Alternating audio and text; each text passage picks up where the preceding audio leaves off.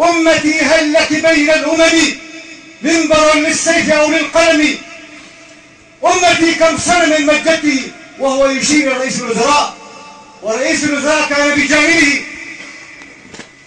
كان بجانبه يقول إن أرحام البغايا لم تلد عاهرا مثل جميل البردمي ولم يكن عاهرا. فاختجل وأسقط الوزارة. هذا المجرم اللعين ابن اللعين. هو الكلب وابن الكلب والكلب جده ولا خير في كلب توالد من كلبه. أي يريد أن يقدم كل سوريا قربانا يرضي عملاه أصبحت سوريا كلها قربانا يذبحها ليرضي الماسونية العالمية. ألا لعنة الله عليك يا بشار الأسد من هذا المكان؟ ما هذا؟ أسقط الوزارة كلمات قليلة قالها شاعر. لأنه يستحي ويحتجب. هل هذا صنم؟ علينا أن نفكر مليا. لنلتزم بعد هذا التفكير. نفكر مليا في قوله تعالى ومن يعتصم بالله فقد هدي إلى صراط مستقيم. هذه الآية شرحتها آية أخرى قالها إخوتي قبلي.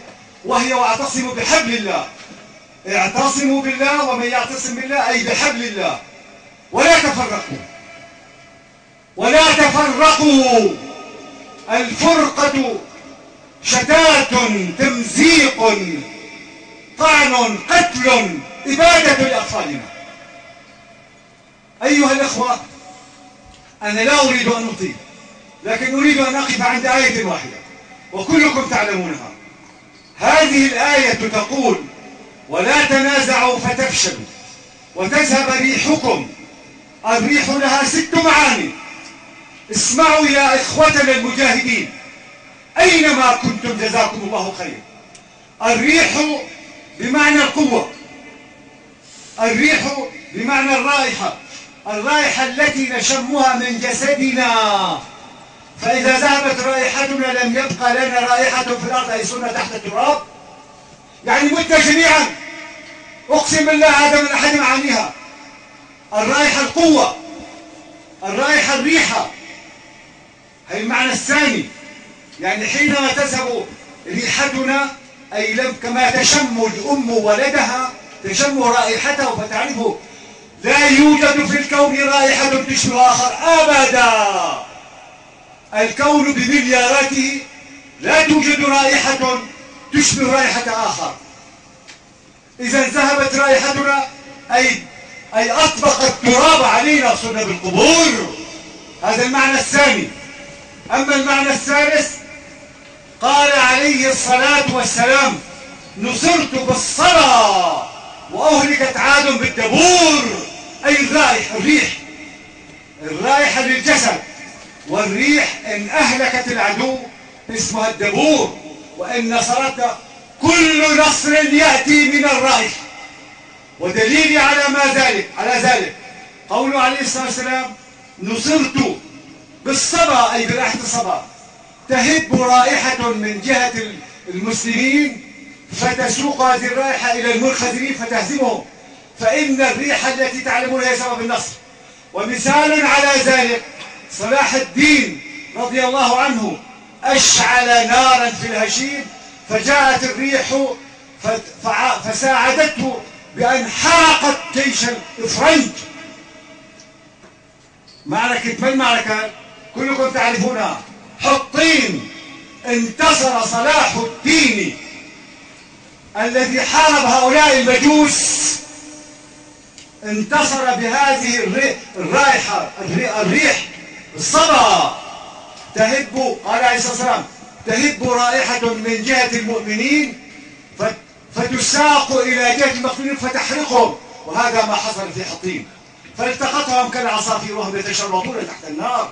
وعليه الصلاة والسلام بإذن ذلك قائلا نصرت بالصبا ريح الصبا وأهلكت عاد بالدبور هذه الريح. أرسلنا عليهم ريحا صرصرا في أيام نعسات والمعنى الآخر الريح هي الدولة. لأنها ذات شوكة لأنها ذات قوة.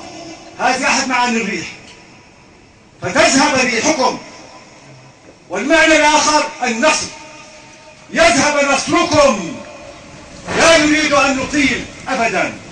إن هذه الآية تكفينا على على كل فئاتنا. قفوا عند هذه الآية. ولا تنازعوا فتفشلوا وتذهب ريحكم. قوتكم رائحتكم. الريح التي يرسلها الله النصر الدولة هذه ست معاني هي بمعنى تذهب ريحكم والله سبحانه وتعالى يقول محذرا أيضا ولقد صدقكم الله وعده إذ تحسونهم بأمري تحسونهم تعملون السيف في رقابهم. هذا معنى تحسونهم. ولقد صدقكم الله وعده. الله يصدق وعده. اصدق الله يصدق. ولقد صدقكم الله وعده إذ تحسونهم بإذنه. حتى إذا فشلتم وتنازعتم في الأمر وعصيتم من بعد ما أراكم ما تحبون. منكم ما يريد الدنيا. بده غنائم. ما قيمة الغنائم أمام رضا الله؟ الغنائم عنده. وعنده مفاتح الغيب. وعنده خزائن الملك. ما عندكم ينفذ ما عند الله باق. ولقد صدقكم الله وعده. إذ تحسونهم بإذنه. حسوهم أن اعملوا السيف في رقابهم. ولقد صدقكم الله وعده. إذ تحسون حتى إذا فشلتم وتنازعتم. هنا متنازعون. اقضوا على التنازع من هذه الجلسة المباركة. حتى إذا فشلتم وتنازعتم في الأمر وعصيتم من بعد ما أراكم ما تحبون منكم من يريد الدنيا. منكم من يريد الدنيا. ومنكم من يريد الآخرة. الآية في سورة آل عمران. أما الأمر الآخر الذي ينبغي علينا أن ننتبه إليه جيدا أيها الأخوة وهي ولا تكونوا كالذين خرجوا بطرا ورئاء الناس. هكذا قال أبو جهل بكرة بنشرب الخمر ونأتي بدر وتعزف القرينات ونغتنم وتسمع بنا العرب فتهابنا. فأعطاهم الله نقيض قصدهم. أولا قتل سبعين من الصنديد صناديد قريش ببدر وثانيا بكت عليهم عواض القيمات ما تغني مغنيات بكت عليهم النوايح.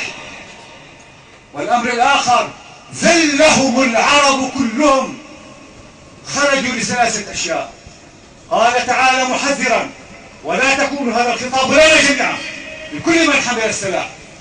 ولا تكونوا كالذين خرجوا من ديارهم بطرا حالة بخترة أبو جهل. وهكذا يفعل الشبيحة أن أكون مثلهم؟ أن نفتش عن غنائم؟ أبدا. نصدق الله عز وجل يصدقنا الله. ولا تكونوا كالذين خرجوا من ديارهم بطرا وراء الناس. ماذا كانت النتيجة؟ كانت النتيجة أن قتلهم الله سبحانه وتعالى في غزوة بدر ولم يشربوا الخمور بل شربوا كأس المنايا ولم تغني المغنيات بل لاحت عليهم النوائح يلزمهم محارم ليمسحوا دموعهم ولم تفتخر بهم العرب بل داستهم العرب تحت أقدامها.